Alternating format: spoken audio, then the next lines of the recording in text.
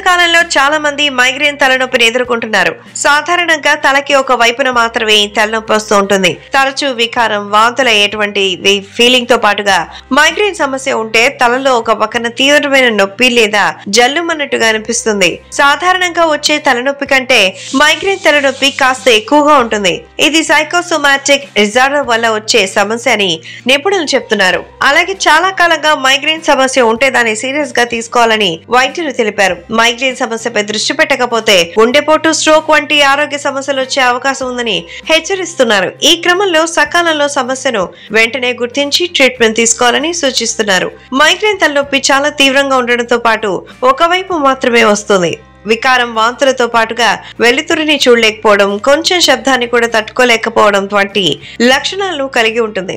ఒక్కొక్కరిలో ఒక్కో రకమైన లక్షణం కనిపిస్తుంది. అయితే మైగ్రేన్ సమస్యతో బాధపడేవారు ఖచ్చితంగా ముందుకు దూరంగా ఉండాలని వైద్యులు చెప్తున్నారు.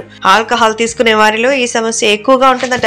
మద్యపానం చేసే వారిలో ఈ సమస్య మరింత ఎక్కువగా ఉంటుందని ఈ క్రమంలో మద్యానికి దూరంగా ఉండాలని సూచిస్తున్నారు. అలాగే మామూలుగా తలనొప్పి వస్తే చాలు కాఫీ టీస్ని తాగుతారు. కానీ ఈ విధంగా కాఫీను టీను తీసుకోకూడదు. వీటిలో కెఫెన్ ఉండడం వల్ల మైగ్రేన్ సమస్య ఎక్కువ అవుతుంది. అలాగే కూల్ డ్రింక్స్ ఐస్ క్రీమ్స్ కూడా సమస్యను తీవ్రతరం చేస్తాయి. అందుకే ఇటువంటి పదార్థాలకు దూరంగా ఉండడం వల్ల మైగ్రేన్ పెయిన్ ఎక్కువగా కాకుండా చూసుకోవచ్చు.